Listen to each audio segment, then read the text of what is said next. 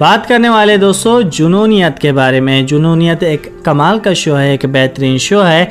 तो यहाँ पे अब इसके साथ ऐसी कैसी चीज़ें, क्या, क्यों, कब सही चीज़ों के बारे में बात करेंगे। तो Junooniyat show will actually going off air क्या ये शो सच में बंद हो रहा है, क्या चीज़ें चल रही है? सबसे पहले शेयर लाइक सब्सक्राइब कमेंट आप सभी को कर देना है, तभी आपको आने वाली अपडेट मिलेगी। वो भी सबसे पहले वेल दोस्तों, मैं हूँ आपका होस्ट एंड दोस्त तंजीर, और आप देख रहे हैं क्रेजी न्यूज़ आप सभी को पता है कि ये शो बहुत ज़्यादा बेहतरीन है, जुनूनियत जो कि लोगों को बहुत ज़्यादा पसंद आता है। One of the best show माना जाता है, वो भी जुनूनियत को।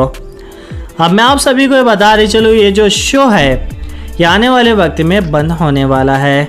जुनूनीत में आप सभी को अंकित गुप्ता और गौतम वैक बहुत सारे किरदार और बहुत सारे किरदार आप सभी को नज़र आते हैं। तो ये जो शो है, अब बंद होने वाला है। जुनूनीत आप सभी को नज़र नहीं आएगा। मेकर्स इस शो को बंद कर रहे हैं आने वाले वक्त में। ये आप सभी को कोई भी किरदार नज़र नहीं आने वाले हैं। तो मेकर्स की तरफ़ से ये कंफर्म है कि हाँ ऐसा होने वाला है और ये चीज़ मेकअप करने वाले हैं। अब ये चीज़ क्यों हो रही है? किस लिए हो रही है? क्योंकि ये शो तो बहुत अच्छा चल रहा था और लोगों को बहुत ज़्यादा पसंद भी आ रहा था। लेकिन अचानक से ये चीज़ करी गई। नेहा राना भी आप सभी को इसमें देखने मिलते थे शो में, जो कि बहुत ज़्यादा मज़ेदार थे। अब ये चीज़ अचानक से हुई है और अचानक से बंद करने का फैसला किया गया है।